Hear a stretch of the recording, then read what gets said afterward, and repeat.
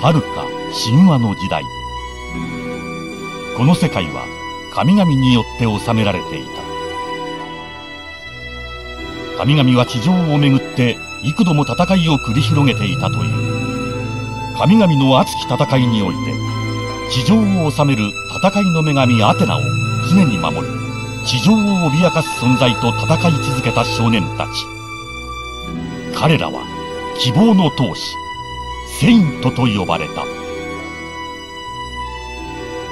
そして現代来るべき聖戦のためにアテナの化身が降臨する。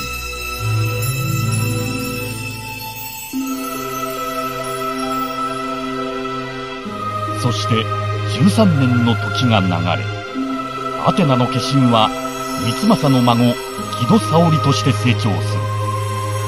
時を同じく三政に見出され世界各地で厳しい修行を終えた少年たちがセイントへと成長し沙織のもとに集った。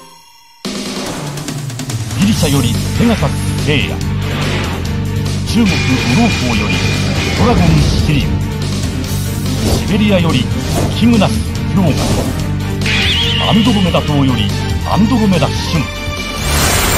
レスクイーン島よりシュンの兄フェニックス・アイドロスの意志を継ぎ地上の平和とアテナを守るため。